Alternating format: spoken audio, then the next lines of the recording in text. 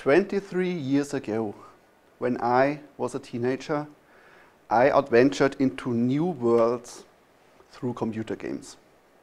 Most of those computer games were quite straightforward. If the game is called Transport Tycoon, then you are the CEO of a transportation company, you buy planes, you build railroads, and you want market leadership. If the game is called Command and Conquer, then you are the cunning lieutenant rising up the military ranks from the Global Defense Initiative to gather Tiberium for the greater good. One of these games has left an impression on me longer than those 23 years. The box read that you are a security officer and you had some troubles with your boss. And you can either get fired or you can volunteer for, for a mission.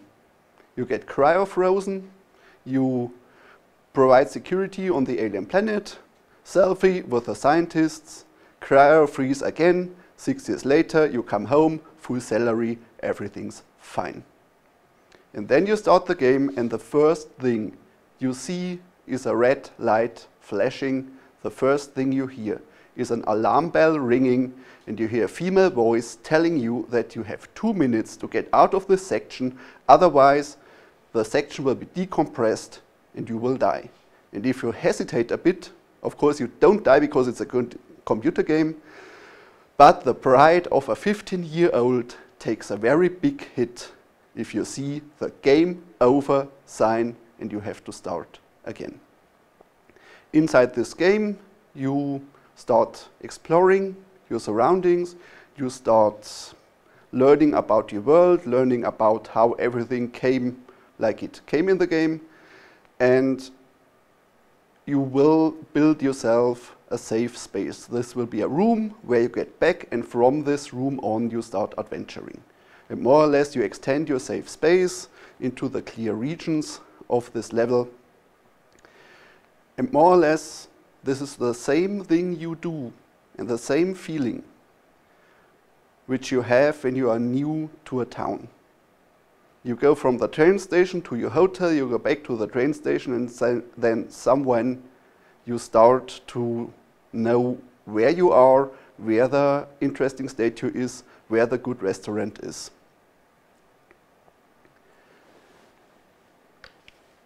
So computer game experience, you build yourself a safe space and from this safe space you, you adventure on.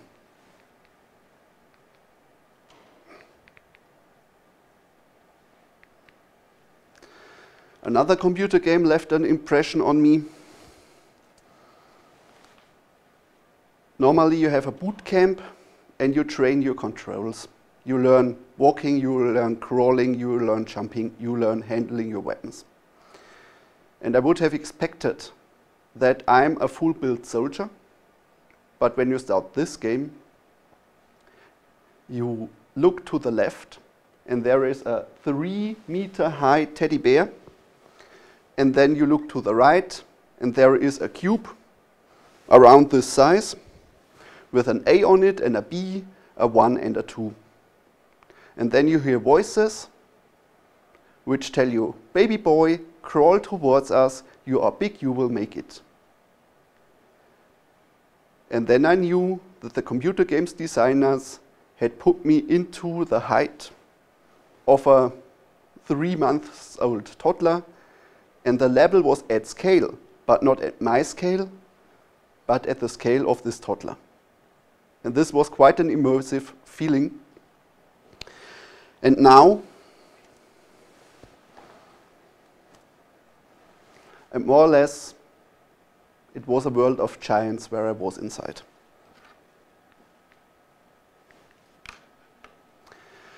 Now with my 40 years, I don't have children of my own, but I am godfather to a two-year-old boy, which is 90 centimeters in height.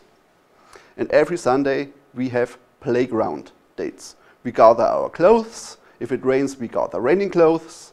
And then we go into a park, onto a playground. And my job as adult is to provide the security perimeter like in the first computer game.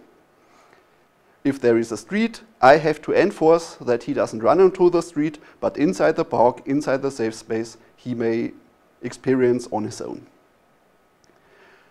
On these dates, I noticed that he has the same approach like me. He defines a safe space, and then he looks what is where and um, how objects and buildings and trees and playing ground things relate to each other. And I was remembering those two computer games and I thought, well, perhaps if the first game is right, with the safe space, and the world is unknown, the second game could be also right. It would physically make sense that his world is a world of the giants, the adults. And this sparked the idea would it be possible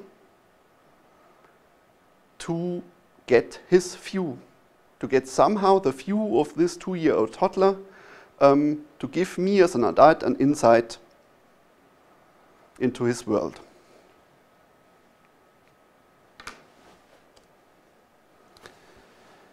I need two components to achieve it. At first, I need to get the height right, so my level of view is round about here. And then I have to get the immersiveness right. Um, immersiveness, more or less, the scale of objects compared to me. So the teddy bear would have to be three meters for me to be immersed.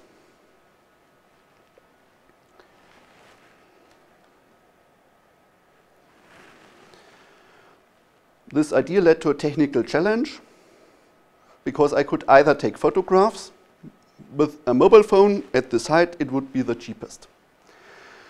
I could use photogrammetry technology where I would take 10,000 photos of the playground, put it into a 3D engine, use artificial, artificial intelligence, and then it would render the level and I could move freely inside the level dilemma is that current prices for the computing power needed are too high. I suppose in 10 years this could be an approach doable. Then I went on eBay. I bought this 3D camera. It does 3D, but it's not too immersive because it's just one line of sight. And then I thought, okay, 3D is good. 3D into, in all directions is better.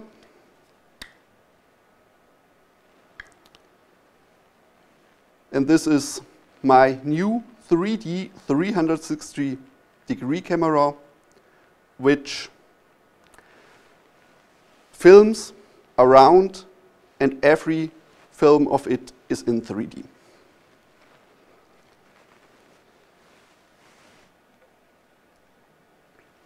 If I have filmed it, I have to show it, which is the next problem. 3D TVs are not so common. 3D headsets doubled in price through the pandemic, and you have to have one. They are not, they are more or less rare. Cheapest way, red cyan glasses Anaglyph. You can buy them, they're quite cheap, and if you have the right video technology, then you can use them.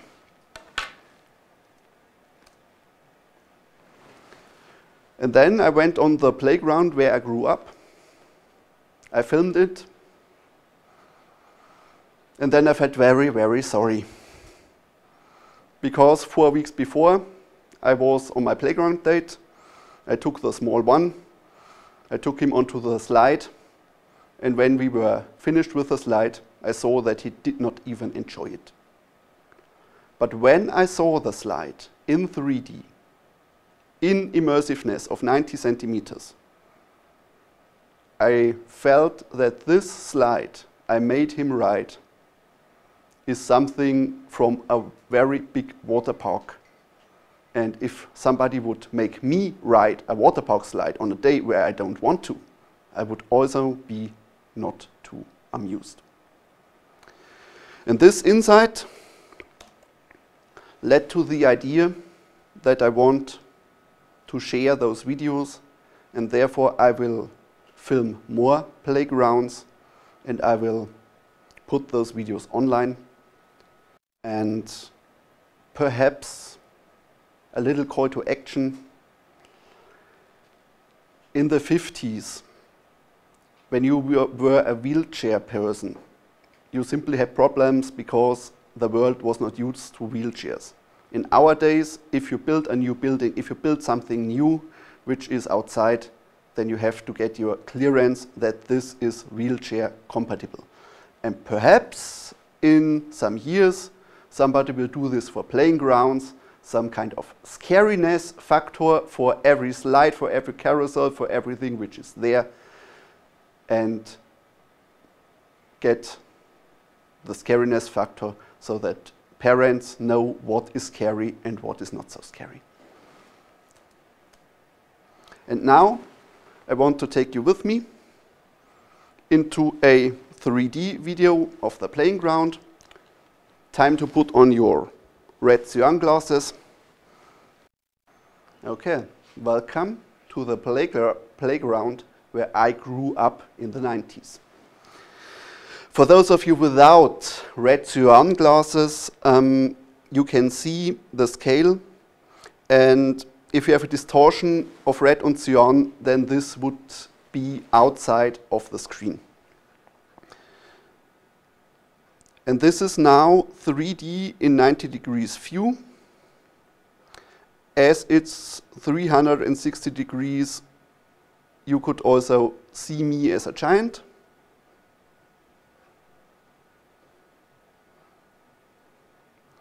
And more or less, I'm taking you on a walk, which you would do when you explore everything.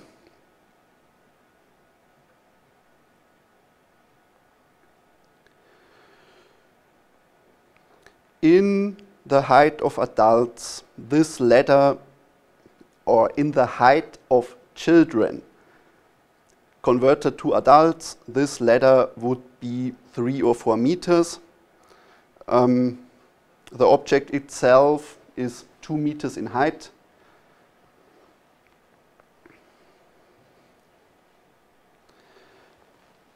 And you can hide in there, you can crawl in there and it's it's quite big if you see it from from this view.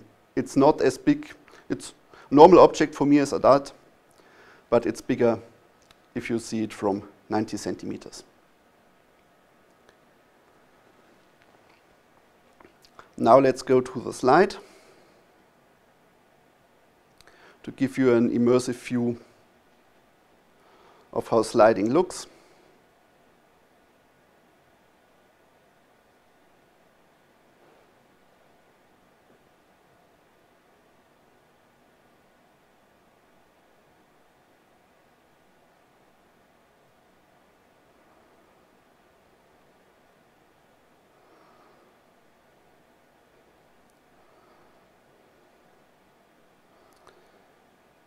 Now fast forward to give you an overview of over the playing ground. On the right in red you see the part of the gimbal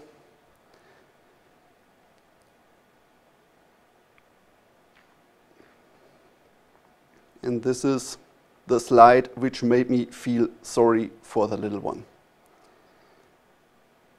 Because this is no small slide if you are small.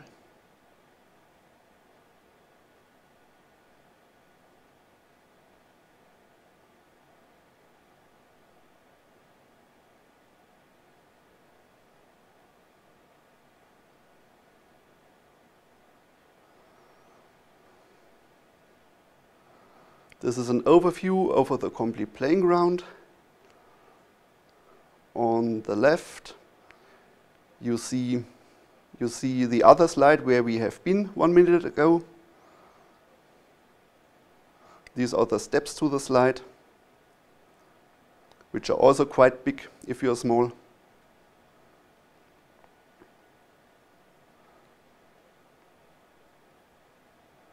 This is now the adult's height view where we have been, which makes everything look not so scary.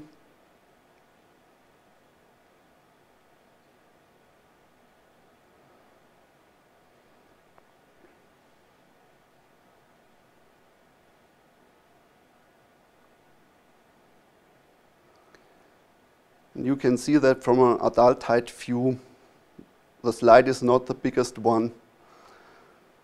The training facilities are not the biggest ones. It's everything at adult height.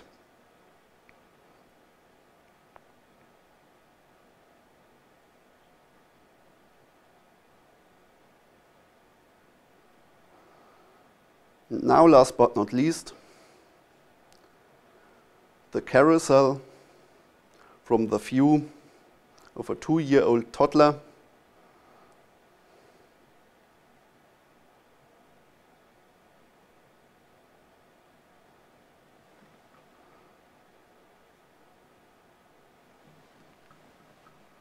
which makes it quite big as the carousel is as high as you are. And now imagine being the adult. Thank you.